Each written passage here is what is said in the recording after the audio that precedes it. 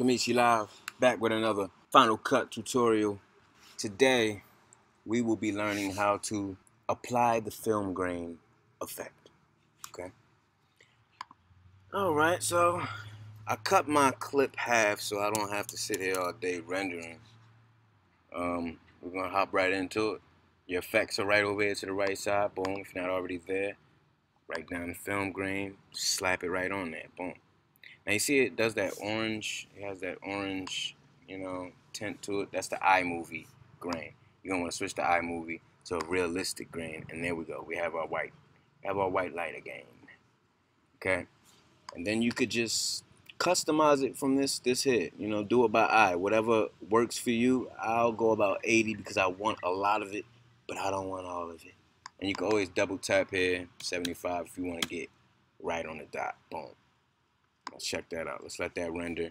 Then we're gonna check out check it out. Boom. Okay.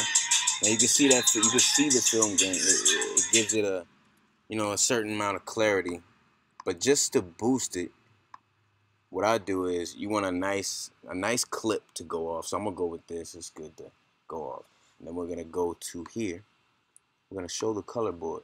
And this is just to complement the film grain. Uh, we're gonna color any. You're gonna do color anyway. That's what you know. You gotta do that to have a full, complete video. But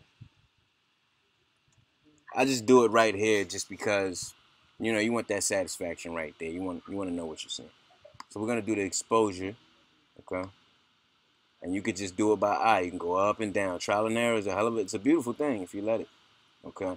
Bring that to five there just to raise the brightness and it's just uh, maybe like here.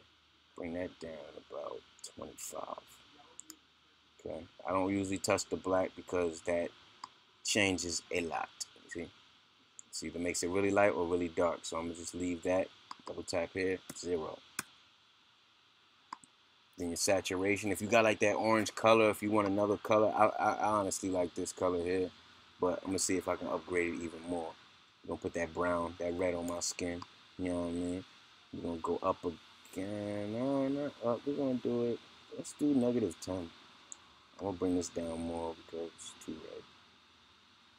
Alright. Boom. And that's all I'm gonna do to it. I'm not gonna mess with the color. You know, just a little bit. You see? Just a little bit. And let's check that out.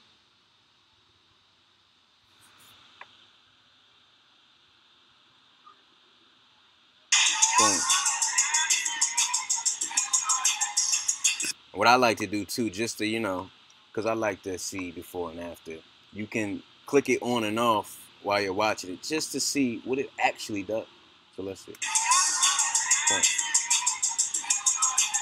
You can see the slight difference, but in film, the slight difference is a big difference. Remember that. Attention to detail. And just like that, you know how to film grain.